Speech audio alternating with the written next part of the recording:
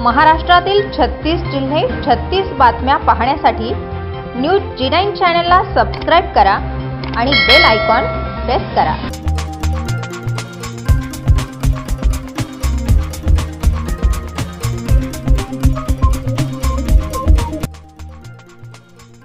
बोदवड तालुक्यातील येवती येथील वगदी यांची बैलगाडी सजवून त्यावर एक तराजू प्रमाणे एका बाजूला महाराज त्यांच्याच वजनाप्रमाणे वगदी समतोल राखून संपूर्ण गावातून मिरवणुकीची सुरुवात होते.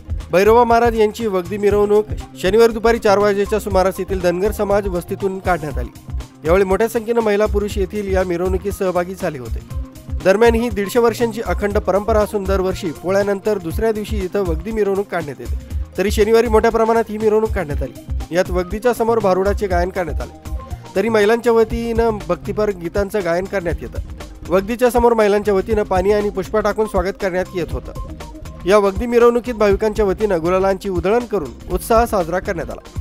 दरम्यान शेकडो वर्षांची परंपरा असल्याने ही परंपरा अखंड ठेवण्याचा प्रयत्न या ठिकाणी दिसून आला. ही वगदी बैलगाडीवर काढण्यात आली. यात वगदीधारक विश्वनाथ धनगर महाराज यांनी पारंपरिक वेशभूषा धारण करून या वगदीवर स्वार झाले होते व गावातील प्रत्येक चौकामध्ये वगदीच्या पाच पाच फेऱ्या मारून दैवी शक्ती दाखवण्याचा प्रयत्न विश्वनाथ धनगर यांनी केला. तर बगदीस्वार विश्वनाथ धनगर यांनी गावातील अनेक बालकांना कुतूहलानं वगदीवर स्वार करीत दैवी शक्तीचा भास करून दिला. यावेळी गावातील मोठ्या संख्येनं सर्व समाजाचे ग्रामस्थ या वगदी मिरवणुकीत सहभागी झाले होते. यात दत्तू धनगर संजय जंगले डॉक्टर आनंदमाळी राजेंद्र शिंदे विकास शिंदे शिवाजी वाघ प्रमोद विसाळे आत्माराम काटकर बबलू ठाकूर प्रल्हाद वाघ कृष्णा वाघ राजाराम जंगले वासुदेव काटकर जितेंद्र ठाकूर गजानन सावरी पगार नारायण ठाकूर रोहिदास काटकर पितांबर बावस्कर सोपान वाघ निवृत्ती वाघ मधुकर माळी आनंद माळी शांताराम जंगले कडू सकाळे आनंद आहिरे अशोक सावरी पगार. असंख्य नागरिक या मिरवणुकीत रामदासभाऊ पाटील किरण वांजारी कडू माळी तसंच काही सहकारी सहभागी होते.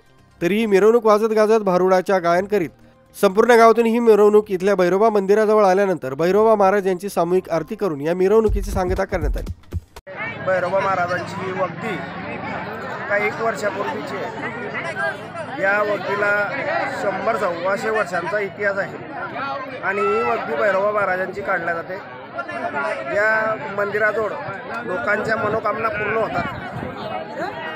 ही वक्ती सर्व समाज मिळून केल्या जाते. या वक्तीला कुठलाच आजपर्यंत आजपर्यंत कुठलाच गालबोट लागलेलं नाही.